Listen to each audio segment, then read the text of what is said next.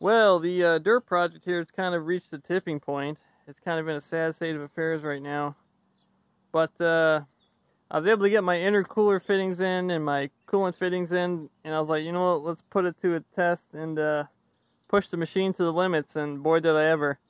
Should have gotten a video of it, but I was thrashing it pretty hard. And essentially what happened was I was uh, cresting one of the levees back there in the swamp. It's like a man-made berm that they built back in the 80s to uh, control the uh, flood stages of the river, um, basically the water flow. And I was cresting the hill probably about 10 or 12 mile an hour, and I'm pretty sure this front end here got about maybe 6 to 12 inches of uh, air time there, and it slammed down.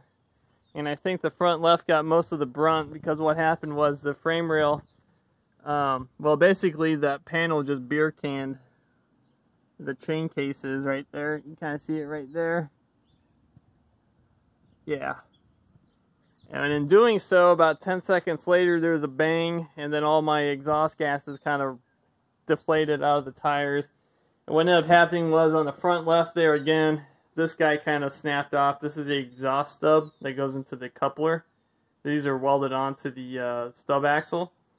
Because what happened was when that deformed, uh, the majority of loading then was transferred over to this guy, which it wasn't really designed for. And yeah, it just basically sheared off. Not so much shear from a torque standpoint, but you know, uh, bending moment type of stuff.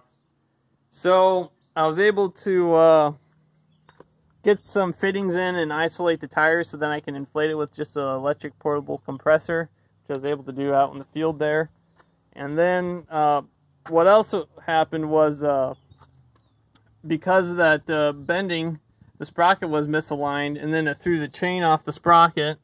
You can kind of see down there. I was able to get it.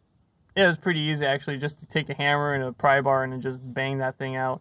And I was able to get the bound up chain so then that it could at least freewheel.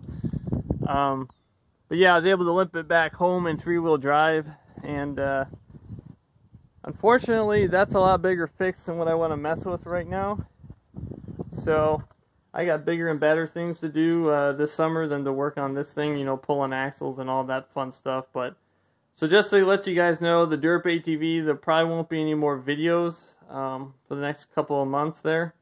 But, uh, you know, it just comes with the territory when you're doing something different than everyone else it's all about you know the the risk management that you got going on, which is why I'm kind of excited about the Derp 2.0 because it uses a lot more boilerplate items, stuff that's already been proven, instead of trying to you know go in and design it from scratch from the ground up, kind of like what I got going on here.